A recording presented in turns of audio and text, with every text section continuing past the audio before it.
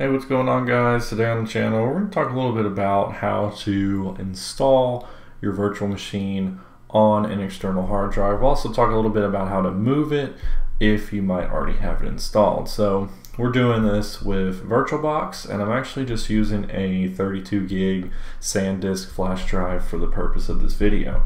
So why would you want to put your virtual machine on a different storage drive? Well, probably the main reason is you don't have enough storage on your main computer hard drive. And that makes perfect sense because virtual machines, depending on the size that you create them to be, well, they can be uh, rather large. So that's why you might want to do this. So we're going to go over real quickly here how to install it onto a flash drive. And then maybe if you already have it installed, we'll also talk about how to move it to another drive as well. So real quickly, what I'm going to do is we're in VirtualBox 7 and I'm going to show you how to install it on there from the beginning. So this is if you do not have a virtual machine whatsoever.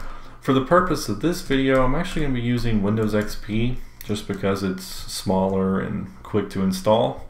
But anyways, right here you can see it says folder. So by default, VirtualBox will store all of your files related to a virtual machine in a folder called VirtualBox VMs. Now this folder is found in your home folder or your main folder uh, under users here uh, on macOS and it's the same way on Windows and installs it in your main uh, area on there as well in the file explorer. So it's as simple as changing this file destination to the flash drive. So all you have to do click on that drop down menu, hit other, and when you hit other, it'll bring up your file selecting window here. And all you gotta do is find your external storage that you want to install it on. In our case, it's this empty flash drive, and you just hit open, and it's as simple as that. So it's gonna create it here on your flash drive for you. Super duper simple. Now let's go ahead and just kind of quickly breeze through this. I'm not going to do anything crazy. It's just Windows XP. Uh, you know, don't really have to put anything too crazy spec-wise uh, for that. By the way, if you're wondering how to install virtual machine, I'm sure you already know how to do that if you're watching this video. But if you want to know, it's there are tons of videos on my channel uh, for all different operating systems, different virtual machine, uh, uh, VirtualBox versions, and all sorts of stuff from the past few years. So be sure to head to my channel and check all that stuff out. There's a lot of other VirtualBox tips and tricks on there as well. But anyways, this virtual machine is now going to be installed on our flash drive. And if I open my flash drive, you will notice there's now a Windows XP folder. So what VirtualBox does is it creates a folder titled whatever you titled the virtual machine, in our case Windows XP. And if you go into that folder, you're going to notice uh, two or several different files here. Uh, we are missing one file, which is a .vbox file, but that'll be created after we open the virtual machine for the first time. That basically just kind of saves all your settings and stuff that you configure the machine with. Now this one right here is actually going to be the big file. This is the uh, VDI VirtualBox disk image file. This is where all your storage is going to be for the machine and everything like that. So you just saw that we did 25 gigabytes. So over time, if we fill this up, that file could be 25 gigabytes and all that will be taken up storage on your external hard drive. Let's go ahead and open this Windows XP machine just real quickly. We'll go ahead and attach the ISO file just so we can kind of briefly start the installation process here. You can see it's going to pop up. I'm just going to select my Windows XP ISO. We'll hit mount and retry. And this is basically going to show you the beginning installation here for Windows XP. So you can see that it is booted up, it is loading, and this is actually running completely off of this flash drive. So none of these files are actually stored, like I said, on my actual computer.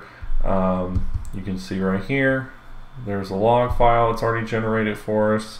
And this is the .vbox file I was telling you about. It kind of stores all your settings. But yeah, uh, it's that simple. All this is now running off of the flash drive and it's all stored on there. So just to show you that also, we'll go ahead and quit this virtual machine. We'll power it off. And I'm going to go over here to our flash drive and I'm going to hit eject. And it's now been ejected. So now if we go to start the virtual machine, we will get an NS error failure, which is the error that you're going to get when it can't find the file. So there you go. You can see it does not work because that storage device has been removed. So if I go over here and I re-plug in that flash drive, it pops up, you hit start, and this time around it should power up for you. So there we go. Just give it a moment.